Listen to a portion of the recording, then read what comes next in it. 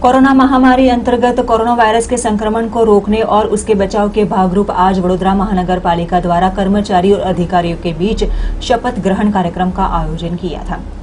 वैश्विक महामारी बन चुके वैसे कोरोना वायरस की महामारी अंतर्गत आज वडोदरा महानगर पालिका द्वारा कोरोना वायरस के संक्रमण को रोकने और उसे कम करने के आशय से जागरूकता कार्यक्रम का आयोजन किया गया, जहाँ आज वडोदरा महानगर पालिका डॉक्टर, मेयर डॉक्टर जिगीशाबेन सेठ की मौजूदगी में आज कर्मचारियों के बीच शपथ ग्रहण कार्यक्रम का आयोजन किया गया था।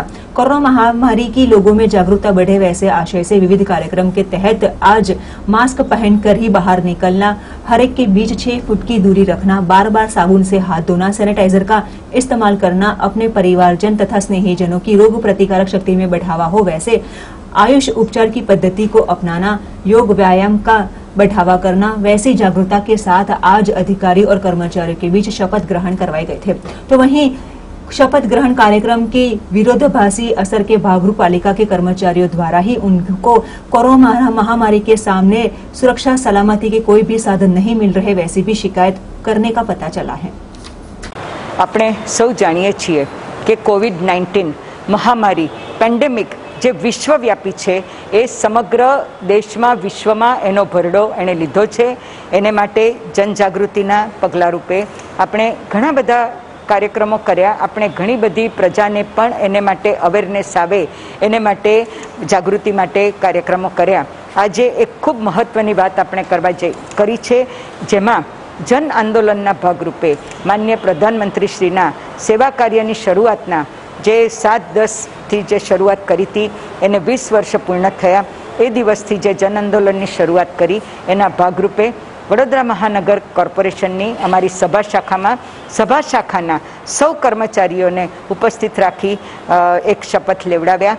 શપથમાં મુખ્ય વાત આપણે જે જાણીએ છીએ એ જ છે કે માસ્ક પહેર્યા વિના ઘરની બહાર નીકળવું નહીં.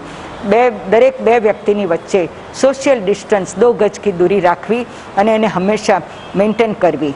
વારંવાર સાબુથી હાથ ધોવા કે સેનેટાઈઝ કરવા, જેથી કરીને આપણે આ બીમારીમાંથી બચી શકીએ અને મારા પોતાના કુટુંબને, મારા સમાજને, મારી આજુબાજુની વ્યક્તિઓને, મારા પડોશીઓને, કોઈને પણ આ તકલીફ ન થાય, એનું ધ્યાન રાખીશું, વડીલોનું ધ્યાન રાખીશું, બાળકોનું ધ્યાન રાખીશું અને માનો કે કોઈને આ મહામારી મીન્સ કે કોવિડ નાઇન્ટીનના લક્ષણો દેખાતા હોય, તો એને પૂરેપૂરી ગાઈડલાઈન આપીશું કે એણે ક્યાં ટેસ્ટિંગ કરાવવાનું, ક્યાં દાખલ થવાનું જે ગવર્મેન્ટ તરફથી સૂચનાઓ છે, એની જે હોસ્પિટલ છે, જ્યાં ફ્રી ઓફ ચાર્જ વ્યક્તિઓ માટે ટ્રીટમેન્ટ મળતી હોય છે, ત્યાં પણ જઈ શકે કે પ્રાઇવેટમાં એને જવું હોય, એ પ્રમાણે પણ એને ટ્રીટમેન્ટ મળે. અને માનો કે ટ્રીટમેન્ટ લેતા હોય ને અમારી સાથે કોન્ટેક્ટમાં રહે, તો અમારા યુપીએચસી દ્વારા પણ એની પૂરેપૂરી કાળજી લઈને ફોલોઅપ કરાતો હોય છે. મારા પણ ધ્યાનમાં આવે, અમે પણ એને, હું પણ પોતે પણ કોઈ પણ વ્યક્તિને કંઈ પણ તકલીફ હોય દવાખાનામાં જગ્યા લેવાથી માંડીને, ટેસ્ટિંગ માટેને પ્રોબ્લેમથી માંડીને, મેડિસિનની માંડીને, મેડિસિનથી લઈને કોઈ પણ તકલીફ હોય, તો અમે ચોક્કસપણે એમાં સહયોગી બનીશું.